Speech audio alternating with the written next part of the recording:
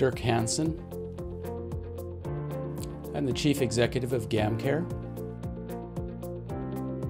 GamCare provides support for those who've been affected by problem gambling. We offer a national helpline as well as a treatment in local communities.